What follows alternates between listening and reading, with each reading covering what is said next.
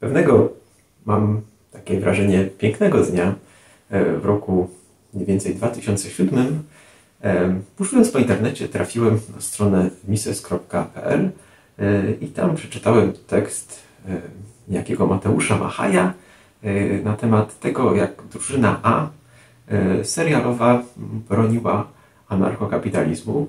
I tekst mnie zaintrygował, był zdecydowanie intelektualnie pobudzający. I stwierdziłem, że chyba warto tę stronę odwiedzać częściej. Okazało się, że na stronie można na przykład ściągnąć e, spore części książki Złoto, banki, ludzie, krótka historia pieniądza, e, po przeczytaniu której okazało się, że to, czego uczyłem się na makroekonomii o pieniądzu, e, ma takie średnie potwierdzenie w teorii ekonomii prezentowanej przez autora Mareja Rothbarda. Końcu wyszło, że przeczytałem całą stronę od początku do końca, a później nawet byłem jej redaktorem e, e, naczelnym.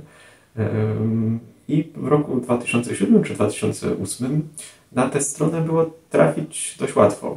Ona wyglądała mniej więcej tak, jak tutaj widać e, po mojej prawej stronie, waszej pewnie lewej.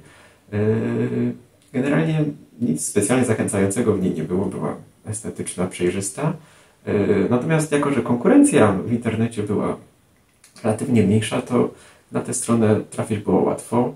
Teraz konkurencja o uwagę czytelnika jest dużo większa i żeby ktoś na stronę internetową e, Instytutu Edukacji Ekonomicznej trafił, to ta strona musi być odpowiednio dostosowana do wyszukiwarek, musi być e, łatwa, intuicyjna w obsłudze.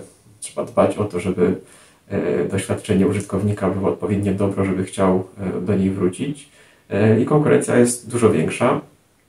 Natomiast stworzyliśmy nową wersję Mises.pl, która wydaje mi się spełnia wszelkiego rodzaju wymogi tego, żeby mieć dobrą stronę internetową, która będzie zachęcać i do której ludzie będą z przyjemnością wracać.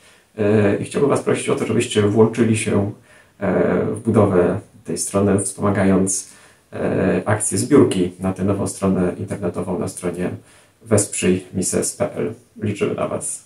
Dzięki.